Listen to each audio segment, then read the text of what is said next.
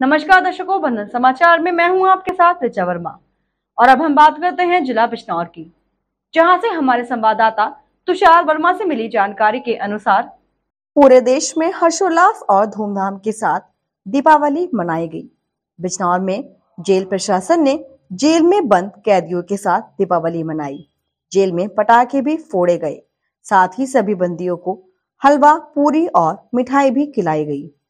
इसी कड़ी में बिजनौर जिला जेल में भी जेल प्रशासन ने बंदियों के लिए दीपावली का पर्व मनाए जाने की पूरे इंतज़ाम किए और जेल प्रशासन ने जेल में बंद महिला बंदियों व पुरुष बंदियों के साथ दीपावली मनाई। साथ ही महिलाओं के साथ बंद उनके बच्चों के साथ भी दीपावली धूमधाम के साथ मनाई गई और बंदियों को जहाँ हलवा पूरी और लड्डू वितरित किए गए तो साथ ही जेल अधीक्षक और जेलर ने अपने स्टाफ व बंदियों के साथ अनार पटाखे भी फोड़कर दीपावली का जश्न मनाया। इस मौके पर हर बैरक में बंदियों ने रंगोली बनाई और उसको दीपक की रोशनी से सजाकर लक्ष्मी गणेश की पूजा अर्चना की।